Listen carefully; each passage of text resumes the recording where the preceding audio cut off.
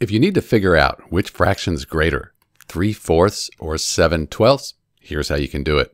So you could just convert these to decimals and compare the decimals on a calculator. That would tell you whether 3 fourths is greater than, less than, or equal to 7 twelfths.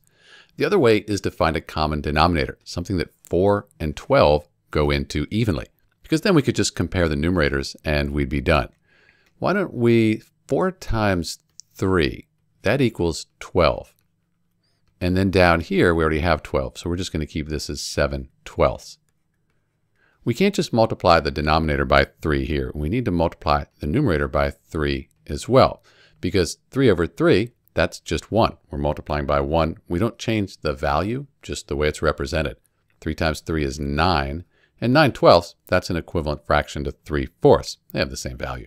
But now, since we have the same denominator, we can compare the numerators. 9 is greater than 7, so 9 twelfths, that's greater than 7 twelfths.